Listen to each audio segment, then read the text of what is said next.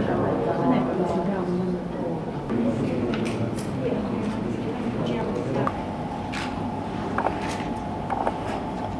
dan svima. Dakle, iznimna mi je čast u svoje osobno ime, ali i u ime Ministarstva rada mirovinskog sustava, obitelji i socijalne politike sve vas pozdraviti ovdje. E, naravno, unaprijed čestitati svim potpisnicima današnjeg ugovora.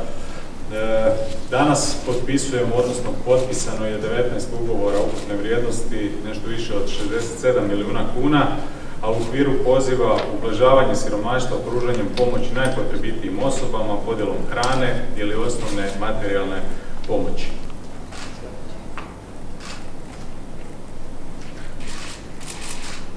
Siromaštvo u Zadarskoj županiji podjelom hrane i osnovne materijalne pomoći faza 4 u ime Caritasa Zadarske nadbiskupije ugovor će preuzeti Dom Dario Matak.